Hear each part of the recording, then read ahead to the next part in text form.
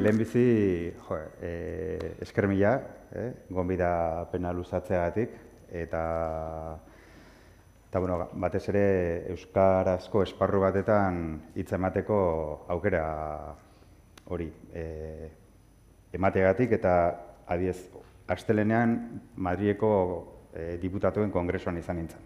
Horrelako, irogei diputatu eta senatuei, senatariei, gai honetaz hitz egiten. Askoz ere, ez, gazteleraz. Eta askoz ere, hobeto sentitzen naizkela honetan, eh? e, familian bezala. Eh?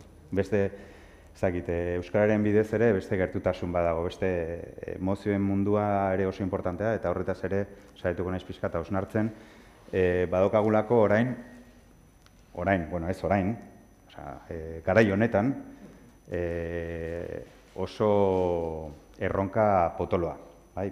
klima aldaketari nola aurre egin, eh? nola egokitu, jadanik pairatzen ari garen eta askoz ere e, modu bortitzagoan pairatuko ditugun e, xa, impactuei, nola egokitu, ze hau da, ez da termostatuari eman emisioa jetxi ezakizen bat eta ez da, e, guazen beste zerbait eta zitzaitea, ez ez klimaldaketa hemen dago, eta egongo da, eundaka urtez, eta, eta gainera e, klimaren e, sistemaren inertziaren gatik, e, impactuak gero eta handiagoak izango dira, orain ere emisioak gelditzen, ba, galdet, e, gelditzen baldin baditugu ere. Claro, orduan zer, bueno, orduan zer, carpe diem? Ez.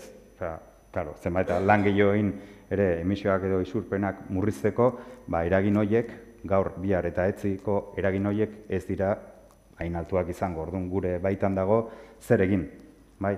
Eta hori nik uste gizartean ja e, intuitiboki, bueno, zientzian noski komunikabitan gero eta zabalduago den ideia bat da, badaude buloak eta bai horren gainetik, negazionismoaren gainetik eta nik gizarteak, hau, Euskal Herrian esango nuke nahiko barrendatuta daukagun gauza bat dela. Kosta izan da, eh? kostatu izan du pilo bat, e, amarkadak. Bai? Baina badauzkagu beste krisi batzuk ere, bianistasunaren krisia adibidez. Osa, bianiztasuna edo ediertxitatea murriztuz doa modu oso azeleratua mundu mailan. Bai? Eta jendeak, ez dakit, bianiztasuna zitza egiten dezunean, ez dakit, ez daka horrela euskarri bat jakiteko, ah, klima bai, beroa eta temperatura, bat koma bos gradu, ez dakit zera da, baina biodibertsitatearen inguruan, edo naturaren, narriaduraren inguruan, ba oso tokian tokiko gauzak ulertzen dira, eh? Edo erreka bat ezekina dolako, edo paisaia bat deus estatu delako, edo zakizer, baina ez daukagu ere irudi, e, egiturazko irudi bat, edo inkluso imaginario kolektibo bat horren inguruan. Eh? Ez hemen, uste dut, e, ez mundu, maiak, mundu mailan zer gertatzen ari den. Bai? E, Piskat, hausun hartzeko, jakiteko eta, eta bueno, honi buelta emateko. Eta, klaro, niri beti asko gustatzen zait krisi soziekologikoa hitz egiteko. Ze hau ez da klima, niretzat ez da klima krisi bat, ez da bakarri bionizasun krisi bat, baude hainbat krisi. Eta gizartean badauzkagu beste krisi batzuk, bai? Batzuk esan gute balio krisiak, eta ez dak zer, eta ba, pobrezia beti dago hor, eta orduan dena arikikatuta dago, bai? E, eta hori beti gustatzen zait esatea. E, baina pixkat egituratzeko gaurko e, itzalditxoa, ez? Bueno, zer da eko eta zer da sozial, ez? Piskat edo zer da eko sozial den hori, eh? E, gero, balioetaz nik nahiko lan egiten dut, naturaren balioak zeintzuk diren nola espresatzen diren eta hoien inguruan zer egiteko pres gauden edo zer egiteko pres ez gauden. Eh? E, gero, bueno, zarrak berri klimalarri alderen inguruan, ez dakit denbora asko izango deun, ze berrogei minutu oso askar pasatzen dira, baina bueno, igual grafiko batzuk ikusteko gauzak ez doazela ondo, bate, mundu mailan okerrea doazela gauzak, ematen du, oh, ja, aigea, eh, aigea, ez, ez gehari. Bai? Eta hori gutxienez, evidentzia hori, pum, txertatuko dut hor, esa, minutu batzuk e, izango ditu hor e, mapa batzuk eta, bueno, mapa edo irudi batzuk. Eta agian gehien interestzen zaidana ere da pixkat nola lotu energi, energia transizioari, ez? Hemen energia transizioa, ah, bale, berriztagarriak, Osa, kendu fosil, erregoi fosilak utzi beritu gaza, petrolioa ikatza. Venga, oain guazen e, emango dio buelta tortillari eta denok berriztagarritara, ez? Ja, bale. Nola. eta zer eragindaka horrek ere. Osea, nola hausnatu, haus, herri bezala eta lurraldetasunari begira eta kulturari begira eta denari begira izugarrizko irautza bat izan daiteke eta hori ondo planifikatzen ez baldin bada eta ondo egiten ez baldin bada, hm, bueno, e, eragin negatibo asko ere izan ditzazke lurraldean. Bai? Eta lurralde esan ere, ere pertsonetan, biadeniztasunean, eta hainbat sektore, lurra erabiltzen duten sektore askorengan. Baina orain ematen du e, obsesio bat bihurtzen nahi dela energi trantzizioaren edo toten bat, ez? Inork ezin dezake hau kritikatu. Energi trantzizioari buruz zerbait e, diskurtso dominantetik at esaten baldin baduzu, ja, bueno, zue, orduan zer, ez zaude, ez zaude ba, klima aldaketaren kontra egiteko e, politikak sustatzeko prest edo? Ba, bai, bai, baina gauza da, dena bezala, eta zientziatik eta akademiatik ere gauzak saiatzen gara pentsatzen lasai eta eta ze aukera, ze erronka eta ze, ze arrisku ere egon daitezken pixka saltzeko, ez? Bueno, ba, hortaz, e, Eta azkenan niretzat desoreka handi bat sortu dezakegu transizio energetikoa Euskal Herrian gurean gaizki egiten baldin badugu, eta albaldin badut, behintzat, e, ba, bizpairu e, ideia horrepotako ditu horren inguruan. Bueno, zer da eko eta zer da soziala, ez? Ba, oituta gaude, akademien ere, dena artxibadoretan edo kajoietan sartzea. E, Eko, bueno, hor, karpeta horietan bat hitzein dezakegu naturaz, bianiztasunaz, ekosistemetaz, espezia, jenea, paisaia, lurraldea, kapital naturala, ekosistemen zerbitzuak, hor dakau zopa bat, bai? Eta dena da eko, dena da ekologia, dena da naturaren inguruko zerbait, ez? Jendeari, galdetzen baldin badio hor kalean, bianiztasuna zer dakien, edo beraintza zer dan bianiztasuna biodibertsitatea, esango du, ez dakit, ba, ze, espeziak, e, Claro, oso termino zientifikoa da, jendeak natura hitz egiten du. Eta natura hitz egiten desunean, eta norbaiti natura zer den galdetzen diosunean, bakoitzak ere bere interpretazio propia dauka, oso kulturala. Bai?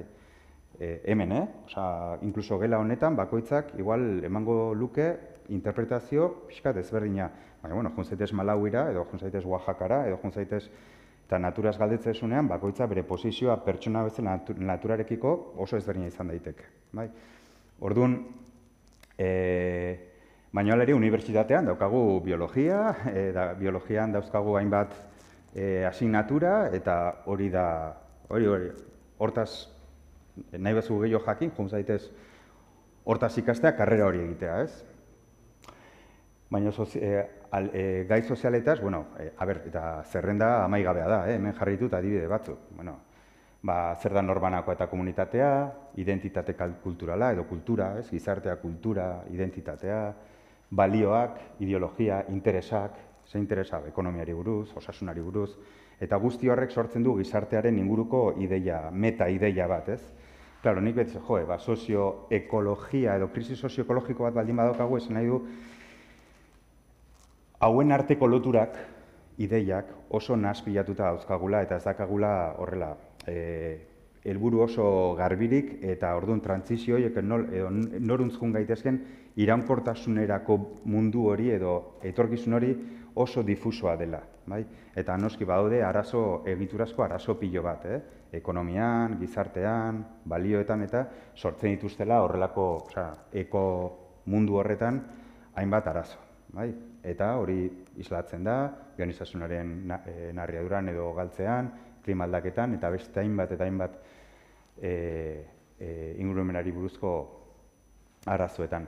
Eta nik uste dena kajoietan sartzeagatik ere galtzen dugu perspektiba, eta nik uste komplexutasunaren ideia, komplexua dela ez du esan nahi zaila denik, baizik eta gauzak erlazionatuta daudela, ingeles esaten feedbackak daudela, lineartasun falta, gauza askotan dinamikaz ez dira linealak, eh? Eta hori nik uste pandemian jende asko konturatu zen, ez? Virusak nola gora edo bera juten zen, baina ez modu linealean. Bueno, ba, natura eta gizartaren arteko lutura horretan, iaia ezer ez da lineala, baina guk etorkizuna beti, iaia beti, modu oso linealean e, proiektatzen dugu, ez? Orduan, trantzizioa izango da, hor, daka grafika bat, lortuko dugu, ez? Jakin gabe, trantzizio horretan gauza asko gertatu daitezkela, ez linealak eta propietate emergenteak egon daitezkela, sustoak izan ditzazkegula, eta horretako erresilienteak izan bar garela, ez? Inbertitun behar deu zerbaitetan, egiturazko zerbaitetan, etorrizunan gertatu daitezken arazo berri ere aurre egiteko balizko trantzizio horietan, sinesten ditugun trantzizio horietan, ez? Bueno, baino, eta mundu mailan esaten da, bueno, muga planetario asko ja gainditzen ari garela, eta mundu mailan dakagula pff, izugarrizko pastela. Eta oraindik ez deula lortzen horri buelta emateko zer eta nola egin, bai? Ba, berreun herrialde edo estatutik gorako mundu badaukagu jarri guztiak elkarrikin ados ez? Oso zaila da eta klimaldaketaren gailurrak eta binezesen gailurrak eta daudenean hori ikusten ditugu herrialde pobreak eta dirunen arteko talkak, interesak, ez? Eta balio ezberdinak, e, mundua ulertzeko modu ezberdinak, bai? Eta potere harreman oso ezberdinak. Hori ere da sozio, bai? Eta orduan klimaldaketari aurre egiteko gauza asko eta asko kontutan hartu behar dira. Eta balio eta hitz egiten baldin badugu, balio du, balio eta hitz egitea edo baloreta hitz egitea, zertara, zerbaiterako balio du, edo hau da ariketa intelektualoide bat, eta jazta. Eta hau ez da hau gizartean, ez da egiturazko edo materiala den zerbait. Merezi du balio hitz egitea? Nire ustez bai. Hau abiadura handiko trenaren azpiegitura bada.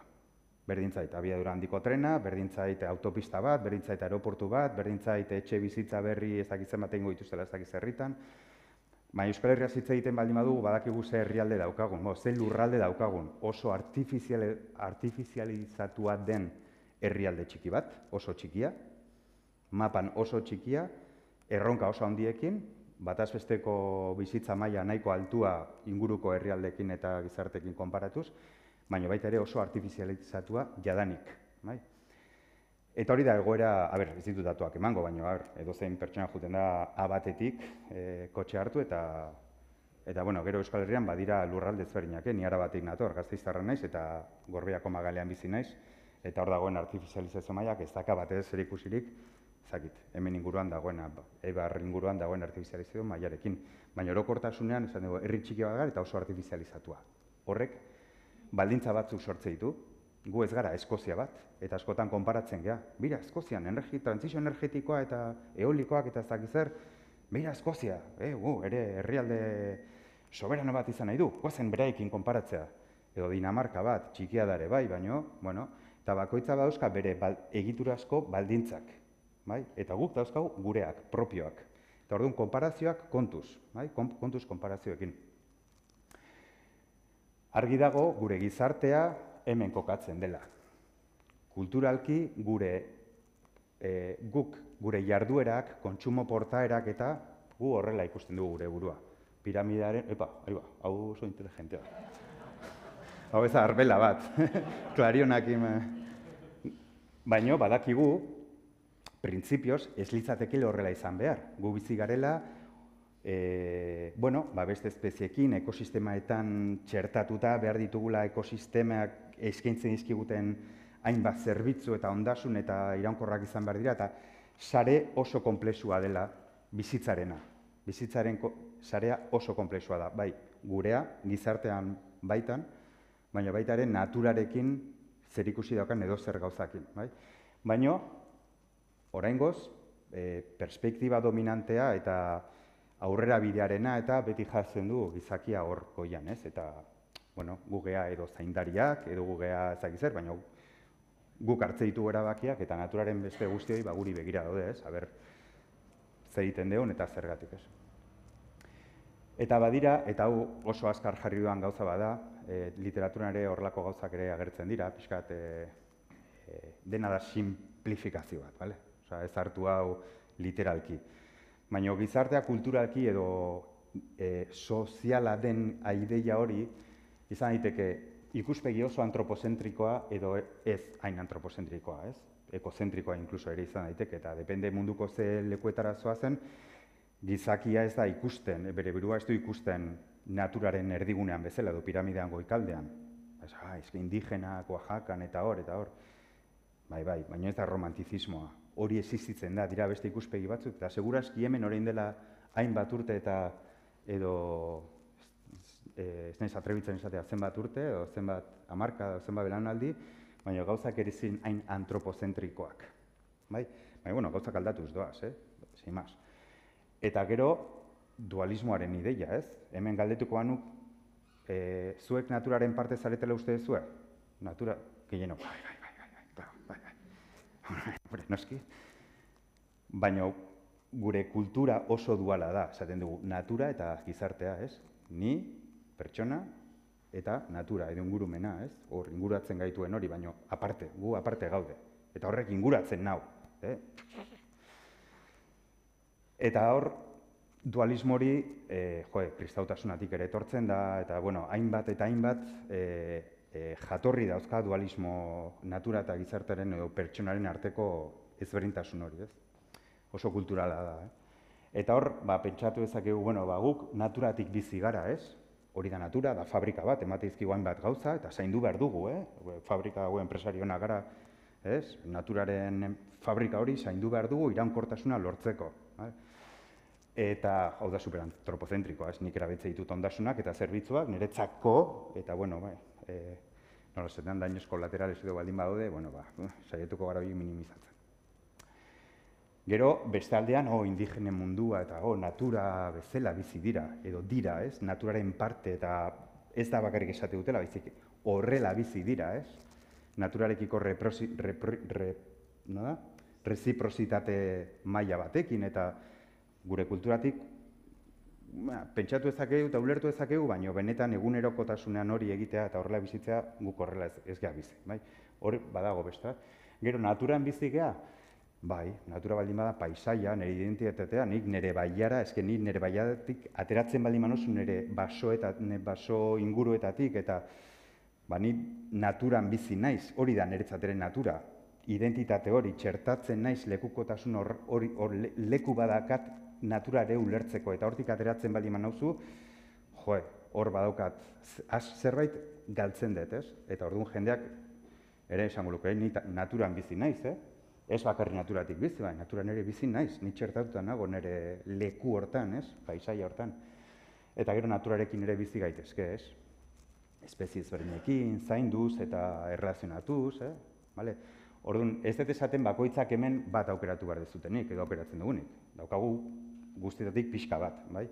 Baina gure gizartean, orokorrean, dualismo, izugarrizko dualismo eta antropozentrismo izugarria daukagu, politikak egite ditugunean, e, bueno, nola komunikatzen dugu gure harremana naturarekin, bai? Eta gero ja, norbanakoa bere mundu txiki horretan, ba, bizi da alduen bezala naturarekin, naturan ezak zer, bai? Baina politika publikoak eta horrela ikusten du natura eta pertsonen arteko relazioa gehien bat, bai? Eta zerratik kontatzen dut historia guzti hori. Ba, bueno, ba, transizio energetikoa hitz egiten baldin badugu, ere trantzizioa egiten da lurralde batetan eta natura erabiliz edo izan daiteke ura edo eguzkia edo haizea edo bai? Bai? Baino dualismo eta antropozentrismo izugarri batekin ikusten dugu orokorrean trantzizio energetikoaren ideia bai? Eta oso oso modu e, simplean esan da esan nuke hiru balio mota bereiz ditzazkegula e, e, gure, gure portaeretan. Balio instrumentala, ekonomia hortan dago, da, bueno, jaun da jabe. Natura erabiltzen dugu zerbaitetako gure ongizatea haunditzeko, eta hori normala da. Eta egunero egiten dugu, eta bai, erabiltzen dugu, egurra, erabiltzen ditu gain bat ondasun, natura, natura, natura baliabideak gure ongizatea babesteko eta areagotzeko, bai. Fabrika hori bezala, ez? Baina ondu ulertutare bai, eh? Igual baso bat e, landatzen baldin badeu, babestu nahi baldin badeu, e, gure gu hori erabiltzeko gure osasun mentala ere hortaz ere e, hor badaukagulako irabazi bat edo, ez? edo osasun fisikoa, hori ere balio instrumental bat da, ez dut esan mal, balio instrumentalak txarra direnik. Eh?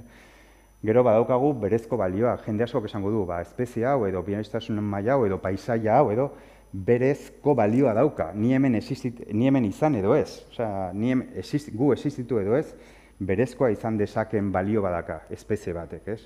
Gu zer gea esateko balio garrantzitsuena dala espezie horrek neri zer, zer ematen dit, horren arabera balio bat ematen diot agian, eta hor filosofoak, hemen filosofa bain daude, hortaz, denbora guztian nahi hitz egiten, ere berezko bali horiek gertatzen hau, gero horiek oso abstraktuak direla eta egunerokotasunean zaila direla ez dago e, indikadoreak eta ere ez daude jakiteko ba, berezko bali horiek handia diren, txikiak, ezpizionekiko handiagoa da, txikiago. Baina, bueno, adibidez orain animaliekiko edo, edo ekosistema edo habitat batzuekiko e, eskubideak ematen dianean, guk ematen dizkio eskubide batzuk, inkluso e, erregimen normatibo batetan, eh?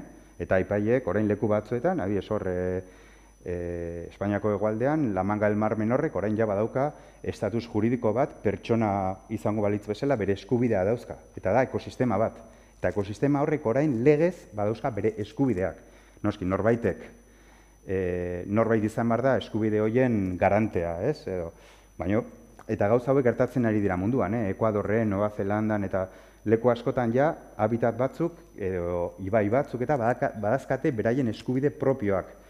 Ez dakit noraino helduko garen horrekin, baina horrek esan nahi du gizarteak e, nolabait e, errekonozitzen dituela edo aintzat hartzen dituela berezko balio batzuk. Eta ez da fabrika bat, ez da niretzat balio dian zerbait propio nire ongizatea handitzeko, baina eskaintzen diegu aukera hori, ez? aukera hori e, e, e, legez ere. Eta niri asko interesatzen zaita harreman balioak. Ze natura, esan ez da fabrika bat bakarrik, bada, guretzat fabrika antzeko bat da, gauzak emate dizkigu eta zaintzen dugu horregatik, fluxu hori mantentzeko, ez, ondasunak eta zerbitzuak jasotzeko, urgar, bila, zakizen, mila gauza, bai? E, baina lehen esan dugu, joe, hor badago, eta e, orain azalduko dizuet, bueno, igual, mira, adibide hau erabiliko dut. Orain dela urte batzuk e, argitaratu genuen lan, nik uste nahiko lan polita euskara eta harreman balioen artean. Zer dira harreman balioak? Ba, da, naturaren balioak beste modu batera ulertzeko e, aukera ematen duen zerbait. Nik ez e, nik ez diot balore bat ematen edo balio bat ematen zuaitz bati, edo erreka bati, edo edo zen espezieri, edo zen paisaiari. Da, horrekiko daukaan erlazioari ematen diot balioa abiskat abstraktoa, eh? baina ez da gauza bati konkretuko eta eta zuaitz hau edo baso hau zergatik da niretzat garrantzitsua bueno, ba, instrumentalki izan daiteke, ematen dizkizutelako hainbat, ematen dituelako, eskaintzen dituelako hainbat aukera osasuna, osasunerako, ekonomiarentzako, turismoarako, baina badaude beste gauza intangibleagoak direnak, ez daudela ekonomian txertatuta, denok dauzkagula, danok, modu batera o bestela, edo bestera espresatzen ditu gainera, baino hauek ez dira normalean politikan, politika publikoetan aintzat hartzen ere ez. Eta gure, ez bakare politika publikoetan, eh? normalean gure kontsumo portaeraetan eta ere ez. Eh? E, eta askotan badaka zer ikusirik kultura identitarekin eta lekuarekiko atxikimenduarekin. Eta Euskal Herrian, kanpora joaten garenea, eta, eta zer da Euskalduna izatea? Ez, ba, jo, oso arro gaude gure sustraiak eta gure historia eta le, bai, lekua ez, eta badakigu, e, pertsona bat e, e, donostin jaio da, horietako zenbat jundira gazteizera bizitzea. Bueno, bai, desente, baina oso gutxi, portzentaian. Danok gelditzen gara gure habitat sozioekologiko horretan, ez? Eta hori da gure kultura, gu, gure nortasuna, bueno, ba, gu horrelakoa gea, ez, on, ez da, ez, gaizki ez ondo, horrela gea. Eta gure natura ulertzeko ere, or, nik uste Euskal Herrian hori oso barrenatuta daukagula. Gure natura, gure ingurumenek, gure inguruan dauden basoak, larreak, eta bar, modu oso propioan sentitze ditu, eta igual, urrengo probintzean daudena, bueno, bastakit, igual ez ez da jabetzen, igual, eh? Eta ikusi genuen nola euskararen bitartez, claro, euskarak ematen du e, nortasun bat, identitate bat, eta natura ulertzeko euskarare erabiltzen du, ze da komunikazio instrumentu bat lekuak eta eta hor egin genuen irati inguruan, ba, bueno, badira hor e, iparraldean frantsesez eta eta euskaraz hitz egiten duten pertsonak eta e, Nafar, e, bueno, Espainia aldean esango nuke gazteleraz eta e, eta euskeraz. Orduan euskera bazegoen e, mugan bi aldetara, baina ere bazeuden beste hiztun batzuk, beste hizkuntzak erabiltzen zituztenak, orduan egin genuen esperimentu antzeko bat, ikusteko aber euskaldunak zirenak, aber beraien e, kultura identitatea eta naturarekiko atxikemendua ezberdina haute zen edo ez. Eta ikusten genuen baietz. Oso ezberdina. Eta nik uste hemen mendizale asko izango zeate, seguro, gehiengo bat mendizalea zeate, Euskaldunak zaretelako ere bai. Orduan, Euskalduna izatea eta mendizaletasuna eta hainbat gauza guk normaltzat ematen ditugu, baina ez dira oso normalak, dira bereziak. Eta guk berezko harreman batzu dauzkagu naturarekiko. Kulturalak, oso propioak ez direnak, murtziakoak bezaineleakoak edo Londresen bizi den besteak, nik ez ezatzen den hobeagoa, baina ezberdina direla, nik uste nahiko argi daukagula. Claro, transiz, eta honek e, badu, abertzen baden bora, ba, maus nito. Honek badu, transizio energetikoaren inguruan, e, hau da, erpin oso importante bat. Ze, klaro, transizio energetikoa berriztagarriak eta lurraldean txertatzen dira. Eta gure bai, eta gure hizkuntza ere bai, eta, eta gure identitatea ere bai, eta naturarekiko harremanak ere bai. Orgun, gure transizio energetikoa ere izan behar da propioa, gurea. Ezin da izan Eskozian daukaten berdina, edo Dinamarkan daukaten berdina, edo Estatu Batuetan daukaten berdina, edo teknologia batzuk bai, erabiliko ditugu eta barrez, baina ere hausna hartu behar du gure lurralde honetan oso artifizializatua dagoen lurralde honetan ze erronka dauzkagun bereziak, bueno, bereziak ezberdina direnak eta horrek zer esan nahi duen gu gizartean erabakiak hartzeko momentuan. Bai? Horretara jungo naiz. E, baina zarrak berri klima aldaketaren inguruan, ze hau da, boa, hasi naiz ja pixkat ondorioetara jo naiz, eh? Ze gertatzen ari klimarekin? Bueno, ba, 2008 marrea, hau da, etzirako, ez, hau da, ez da, mendiaren bukaerako, ez ez, ba, munduak, nazio batuek, Europak, badauzka bere helburuak, eta orduan, klar, Europak baldin badauzka bere helburuak, Estatu Espainolak euzan behar ditu, legez, osea, e, behartuta dago, e, bueno, behartuta dago, e, hor akordio badago Europan, eta er, estatu guztiak ados daude eta beraien buruari helburuak jartzen dizkiote. Claro, estatu mailan badaude helburu batzuk. Orduan guk erkidego batetan edo Nafarroan edo EAen zer egiten dugu? Bueno, ba helburu berdinak hartu. Europarra geanez, ba guk ere helburu berdin berdinak hartze ditugu. Ta jon, joño, zergatik, leno galdera, zergatik. Zergatik gure lurraldea ezberdina da ez da bataz besteko lurraldea, ez, eh, estatu mailako beste lurralde, osea, ez da, ez da, dakau beste egitura sozial bat, industriala, e, naturarekiko, baino, bueno, pen, osea, pentsatu gabe, gure ordezkariek hartze dituzte, helburu berdinak zerratik, gu ere Europea gara, Europearra garelako. Hori da, hori da, erabiltzen dugun, e, osea, e, arrazonamendu bakarra. Jontxo, igual ere guk ere pixkatorri buelta bat eman beharko genioke. Ze gauza batzuk estatu mailan, bueno, e, hobeto gaude, okerrago gaude, baina, bueno, e, transakzioa, bueno, e, bataz besteko bat lortzen dugu, ez, hemen edo hobeagoak izan behar gea, deneten, denetan, edo gutxinez bataz bestekoaren berdina. Baina konturatu gabe agian, gure egitura sozialan edo sozioekologikoa ez dela berdina, eta ez dela bataz bestekoa ere ez. Bai? Claro, hau esatea, ere esan dugu, orduan ze, ze hori zera, eskusa, itzaki bat e, e, berriztagarri gutxiago jartzeko, ez naiz hori esaten ari. Baina osna hartu behar dugu, igual ez da kantitatea, baina nola, ere nola egin. Nola desplegatu berriztagarriak, nun, ze modutan, ze parte hartze, ze gobernantza ereduekin, bale? Baina, bueno, hemen esaten ari garena da, berez, 2008 marrerako beharko genituzken mundu mailan, eh? Mundu mailan, ez Euskal Herria, mundu mailan. Gero hemen zer egingo deun, guk hartu beharko dugu eta arabakiak hartu. E, euneko berrogeita bosteko isuriak murriztu beharko genituzkela 2000 eta marra urtearekin konparatuz. Hori da, izugarri pilo bat. Eta 2000 eta hogeita mar, dao, zenbat, sei urtetara. Hai, eskinan bestaldean. Eta gaurko, eta herrialde estatu bakoitzari eskatzen zaio ze etxeko lan egingo dituzten esatea zertarako pres zaude eta zer, egit, bueno, zer egiteko pres zaude, idatziz, esan, zeintzuk izango dian zure politikak eta zenbat tentan murriztuko dituzu politika horien arabera, zure ekintzen arabera, zure emisioak. Ba, orain guz munduan, etxeko lan guzti horiek zer egingo duten ikusita, oraindik 2008 amarrera emisioak uneko ia amarrean handituko lirateke. Hau da, emisioak ematen du oraindik ez dela jetxiko. Bai? Ikusiko dugu geisten diren edo ez, baino estatu guztien modu agregatuan beraien helburua edo naia ez da. Bai, politikan igual, diskurtsoak, bai, baina gero bakoitza bere txan esan du, ah, bueno, ba, nik egingo eta eta nik egingo eta, ah, ba, guazen, zerrenda guzti hori hartzea, estatu guztiena, eta ikusiko dugu zenbatetan murriztuko lirateken emisioak, ez dira murriztuko. Bueno, agian murriztuko dira, eh? agian zerbait gertatuko da, eta etxeko lan horiek, igual gehiago egiteko prest egongo direla esango dute eta agian egongo dira gauza gehiago. Baino ezberdintasuna izugarria da, bai? Osea, ez gaude ez gaude ondo. Ez gaude ondo. Hau dira emisio, emisio totalak, bai, erregail fosien erabilerarengatik beltza, eh? Hau, 2008 gaur goizean, aber, azkeneko datuak hartzen, zoe irakusteko. Eta hau da, lurraren erabileraren gatik ere sortzen dira emisioak, eh? E, ba, deforestazioa, eta bar, eta lurraren erabilera txarra, eta lurzorua, hor ere e, CO2 estoka, e, karbon estoka oso handia da, eta hori gaizki erabili ezkero ere emisioak e, atmosferara doaz. Bueno, hori ikusten dugu, eh? Tak, tak, tak.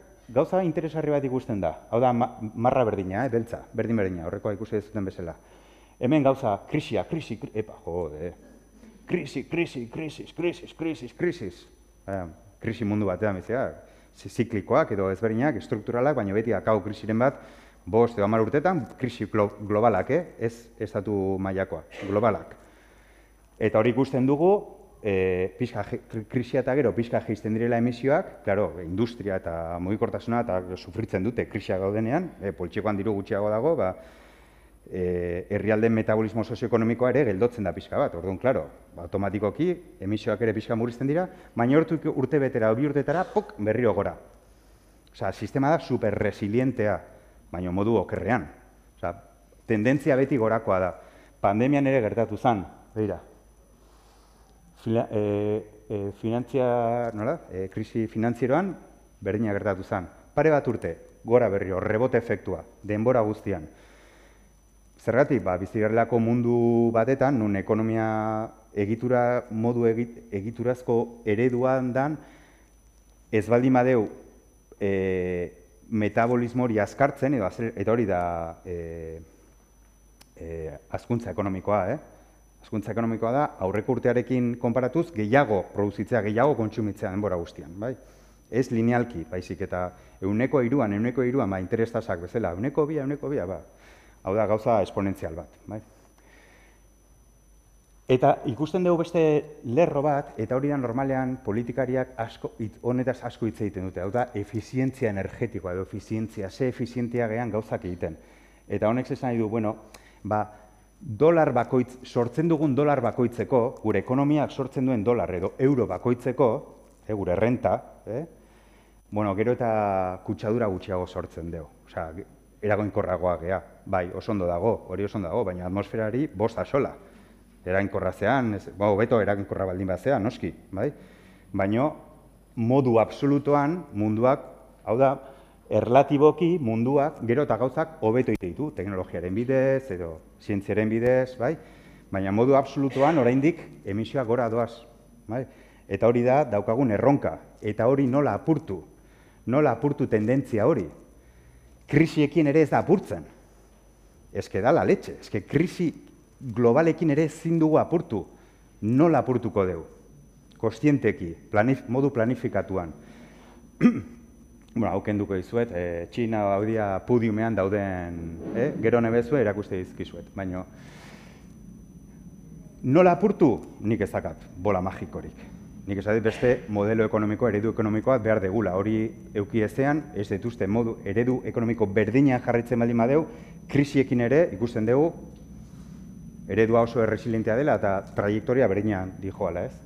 Baina gero oso interesgarria da ikustea nork, zau da mundu mailan eta adibidez, eh, a ber, esango dute, finantza munduan edo banku mundialak eta inkluso Europak eta diskurso politiko potoloiek e, humanitateari buruz hitz egiten du.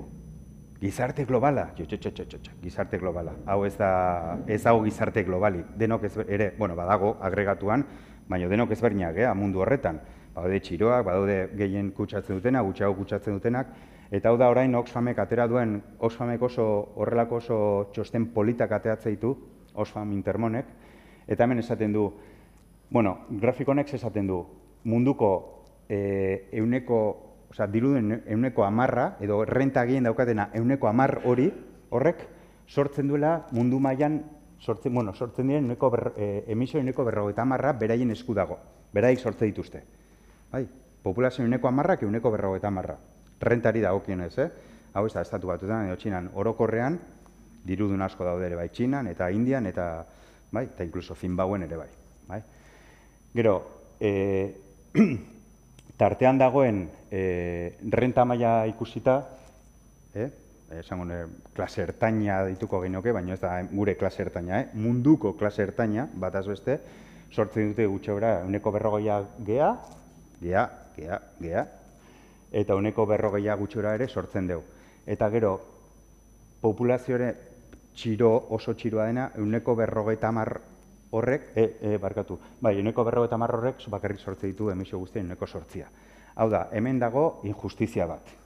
Hemen dago munduaren banaketa ez justu bat. Eta ikusi ez duen, ikusi nahi ez duenak, ba ez dakiz zergatik ez duen ikusi nahi, baina oso argia da.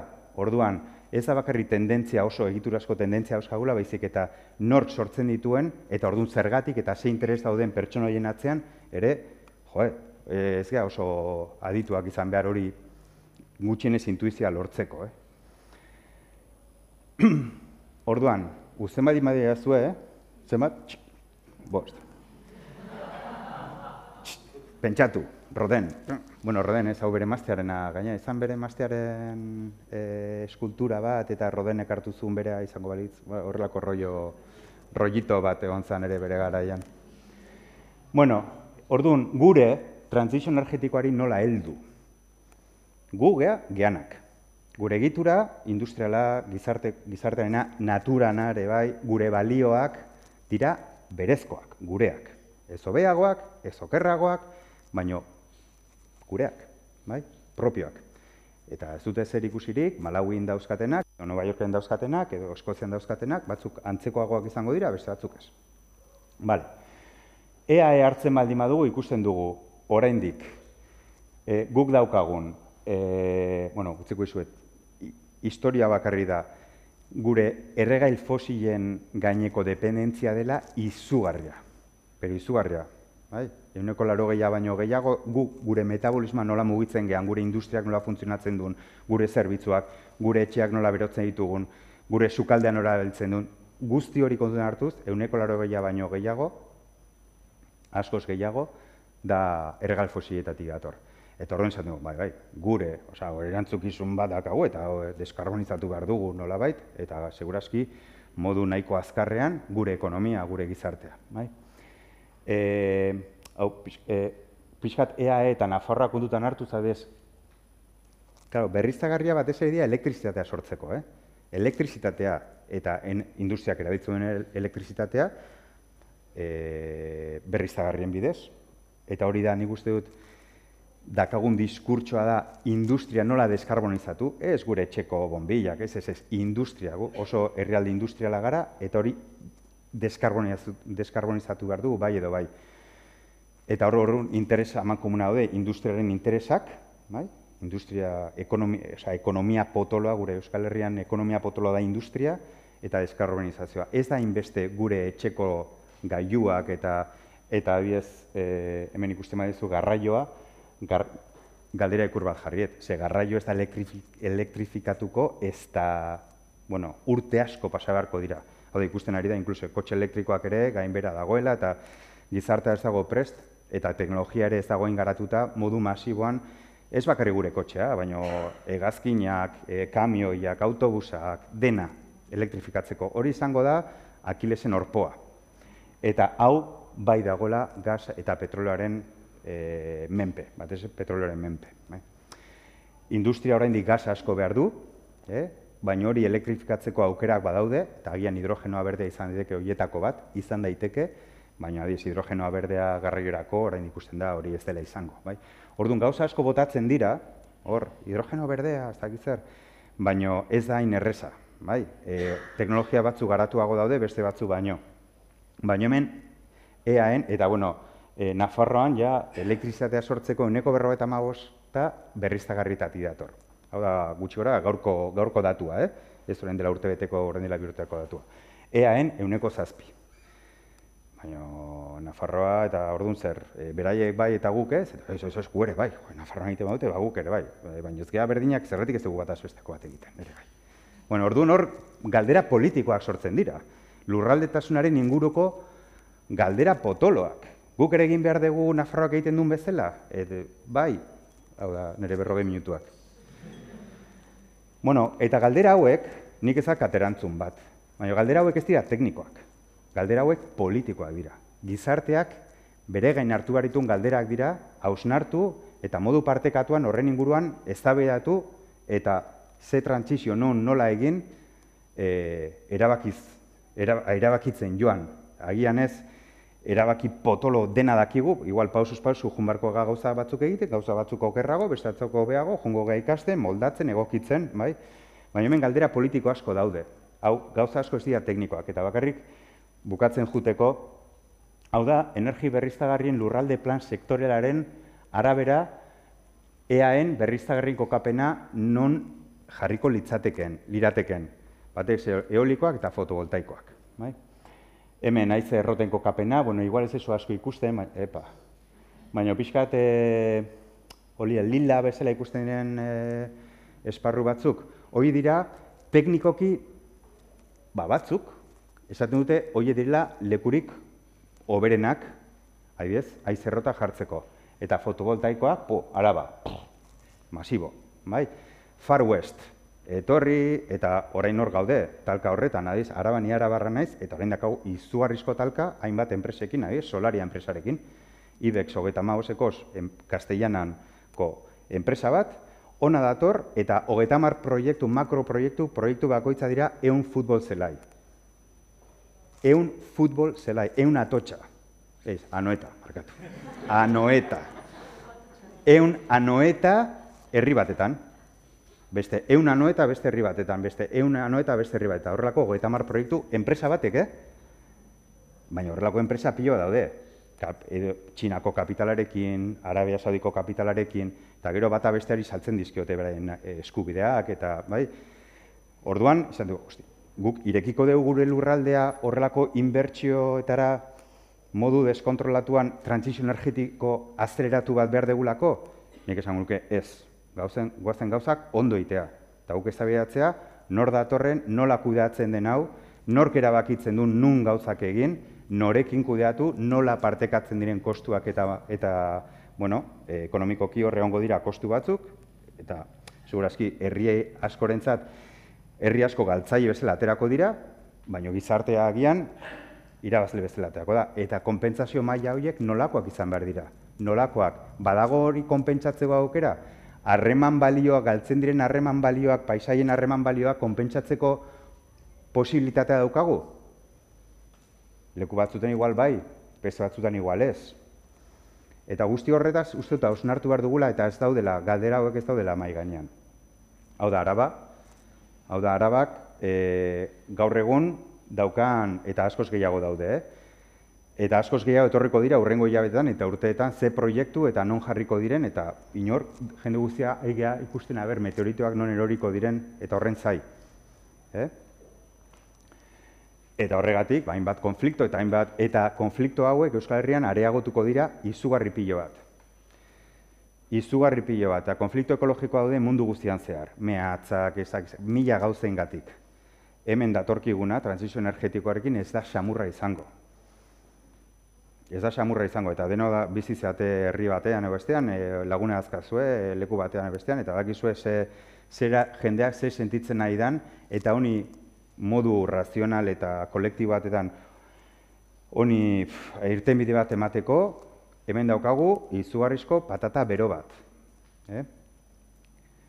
Nafarroan non dauden e, berriztagarri guztiak, eta gero eta gehiago etorriko dira. Osea, lurraldeak, tak, tak, tak, tak, tak, tak, eh? e, trantzizio energetikoa behar dugu, eta galdera bat, trantzizio energetiko berena ez da murriztea gure dependentzia energetikoaz, eta dependentzia energetikoaz ez da bakarrik kanpotik ekarri behitugun gauzak murriztea, edo guk, guk sortzea izan daiteke, autornikuntza importantea dela uste dut, baina baita ere, zema kontsumitzen deon. Ten uste, gizarte honek gehiegi kontsumitzen duela. Orduan, hasi beharrean, edo igual modu paraleloan, baina modu inteligentean, nun kokatu eta ba ere, ze politika egin behar ditugun, energia gure bizitzatik piloa murrizteko. Eta industriak ere bai. Agian industriak rekonbertitu behar dira, eta hain energian intentsoak ez diren industriak behar ditugu, gure lurraldean. ikusita gure lurraldea ere oso mugatua dela. Eta hemen kriston talka daukagula e, berriztagarrien despliege masiboarekiko, ez? E, energiak behar du en, energia berriztagarria, bai, baina zer pre, zertarako prest dago ener, e, industria ere bere aztarna energetikoaren murrizteko? Ez galdera hauek, egin, nik uste egin behar direla, eh? Eta puntu bat oso importantea da, ze ari gara hitz egiten gure lurraldeari buruz. Eh? Jo, eske eolikoak datoz eta fotovoltaikoa makroproiektua leku guztietan jendea urduri berotuta baina ere konturatu bar gara teknologia honek, berriztagarrien teknologiak, eh, beharitula oso material bereziak, metalak eta mineralak, atope.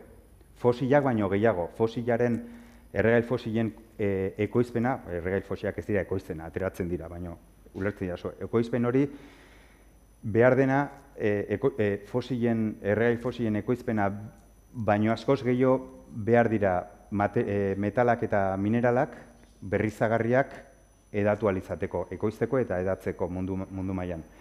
Eta oso mapa interesgarria, orain dela oso gutxi argitaratutakoa, orain dela pare bat urte, e, la urte. Hau da, mundu mailan aztertu da mehatzeek Osea, e, berriztagarritarako eta ez berriztagarritarako, eh? beste industriarako, baino, bate, baino baita ere berriztagarritarako eh, esto nun daude kokatuta, mehatz, mehatz haundi horiek, eh?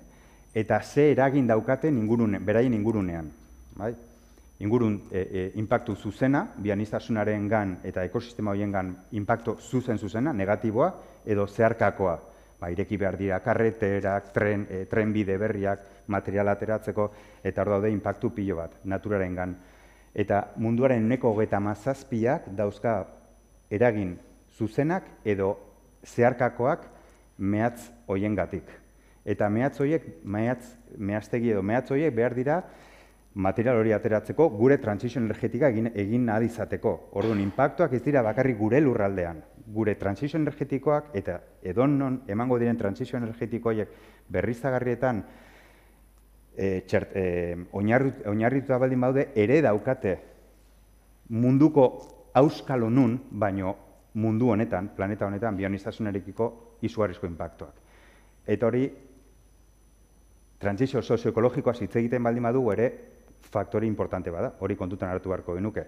Eta ja ez, ez nuke esango bakarrik ere, ze impacto dokan horko gizarteetan. Ari naiz bakarrik impactu fisikoetan, gero gizarte horietan ze gertatzen den, eta ja, ba hori ere hausnartzekoa da. Bueno, eta ja, Horekaz trantzizioaren barna, oza, ze horekakin juten geha trantzizio hori, ez ja ez trantzizio ekologikoa, eh? trantzizio energetikoaz bakarrik ari naiz, vektore bat eta zitze egiten.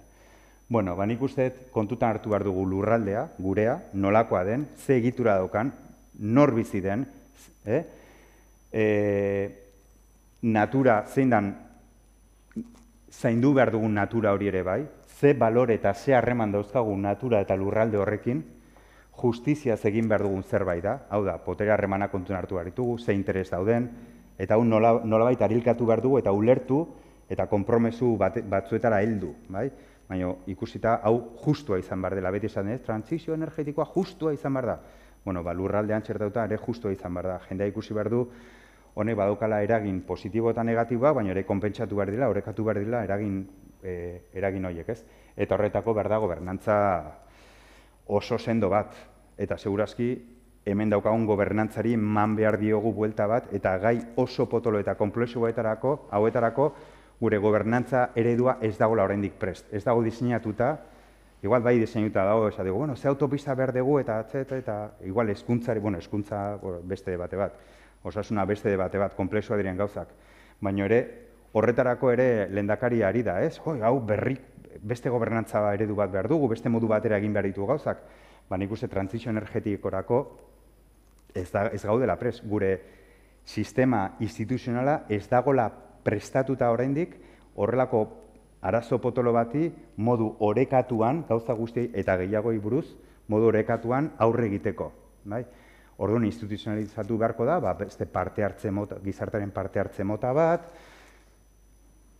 e, arriskoa dauzka horrek, ze, klaro, ez, ezin dugu dena ondo kontrolatu, hori egiten badi badu, parte hartzea, klaro, kontuz, bai, igual interes batzuen kontra jungo da, eta, ja, baina hori da daukagun patata beroa, eta nik uste horri lotu ezean gutxienez bost e, gauza hauei, eta pixa solapatu ditut, eh, ikusteko ez direla kajoi ezberdina, dena dagoela bata bestearekin erlazionatuta, ez. Ba, nik uste hori izan behar dela politika energetikoa gure herrian.